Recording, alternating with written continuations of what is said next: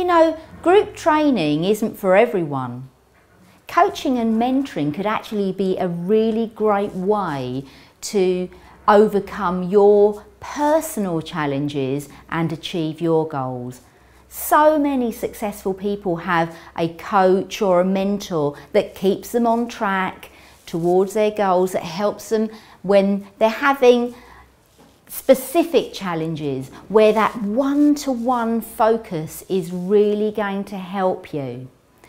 You'll be able to work very closely with your coach or mentor and you'll be able to speak really openly and any coaching or mentoring relationship is very confidential. So maybe if there are certain things that you wouldn't say in a group environment, then coaching and mentoring will allow you that freedom to speak as openly as you want to, to explore areas that you might never want to explore in a group session.